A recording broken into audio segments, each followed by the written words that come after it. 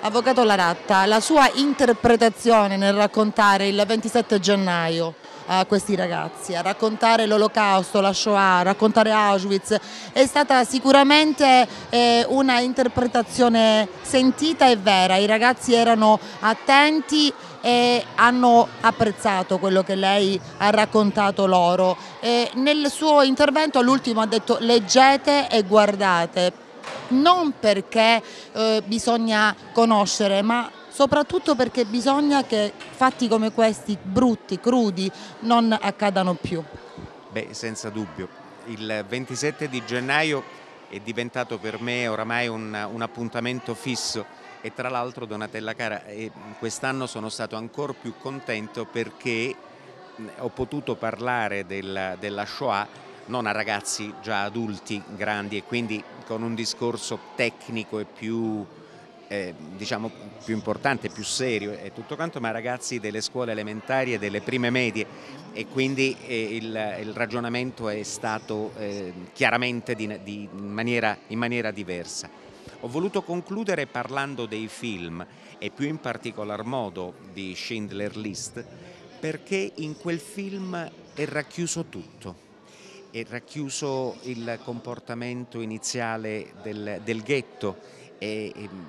il momento in cui eh, arriva il treno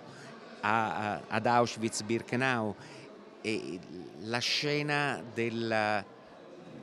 della, de, della, camera a gas, quindi praticamente della, di quella doccia che si diceva fosse una doccia ma che doccia non, non era e quindi quello sguardo di terrore, quella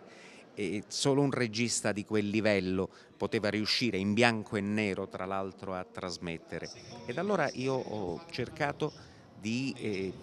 di dire ai ragazzi prima di tutto non dimentichiamo. Ma non dimentichiamo cosa dei ragazzi che sono nati dieci anni fa mentre la Shoah è finita nel 27 gennaio del 1945 e allora dobbiamo farlo in che maniera? attraverso le letture. O ancora più importante attraverso film che possono non essere eh, simpatici da, da, da, vedere all'inizio ma estremamente istruttivi. È un film come Schindler List, è un film che va visto perché da lì si capiscono tante cose e soltanto quel tipo di immagine ti fa capire realmente che cosa è successo perché è un film estremamente reale che tratta poi in quella occasione di una persona che aveva fatto un qualcosa di incredibilmente bello, tant'è vero che eh, riposa tra i giusti eh, in, in Israele.